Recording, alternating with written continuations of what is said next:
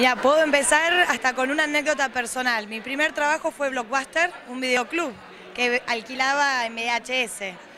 Y en simultáneo Netflix, lo que hoy es Netflix, le propuso innovar. Ellos dijeron que no. Entonces creo que es una muestra de que aquellas organizaciones que están cerradas a adaptarse al nuevo siglo XXI están destinadas a desaparecer. Pero es importante siempre pensar para qué queremos innovar, no solamente innovar por innovar, sino que tiene que tener una, tiene que ser una innovación siempre con valores muy fuertes, con la sostenibilidad, con la accesibilidad, pensando en la inclusión. Estamos en un mundo que enfrenta desafíos planetarios. Estamos con una amenaza de extinción hasta de la misma especie humana. Entonces, todas las organizaciones estamos obligadas a tener un compromiso para vivir en un mundo más sostenible y más humano, más justo. Planteabas esto justamente, ¿cómo, cómo innovar pensando también en el medio ambiente y bueno, estas cuestiones que planteas? nosotros tenemos que innovar, tenemos grandes desafíos, pero básicamente por dos cuestiones.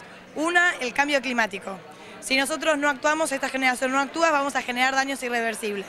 Por lo cual, si nosotros pensamos que el turismo es una actividad que sigue creciendo a nivel mundial y esperamos que también siga creciendo en nuestro país, tenemos que ver cómo hacemos para vincular ese crecimiento del turismo con la emisión de gases de efecto invernadero que contribuyen a empeorar la problemática del cambio climático.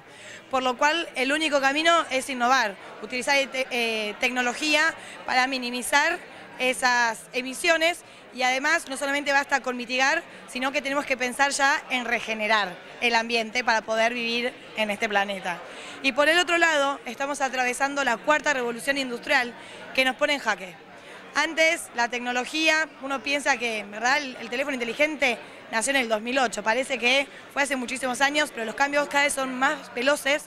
Ese es el momento más lento de lo que vamos a vivir en los próximos años. Pensando en esta velocidad, de cambio, es fundamental tener una cultura innovadora, permeable y que sea fácil adaptarse a los cambios que se vienen, pero siempre dando respuesta a los desafíos planetarios que tenemos. Bueno, ¿cómo ves misiones ante todo este panorama y esto, esto que describís que es importante tener en cuenta? Misiones, ante todo, soy una fan número uno de Misiones, creo que es una de las provincias más lindas que tiene Argentina. Hay que celebrar que Misiones es una de las provincias que más ha trabajado cuestiones de sostenibilidad hacia dentro de las organizaciones turísticas.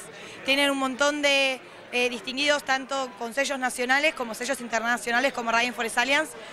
Y eso hay que seguir promoviéndolo, multiplicándolo y profundizando esos esfuerzos. En ese sentido, creo que Misiones es un referente en el país.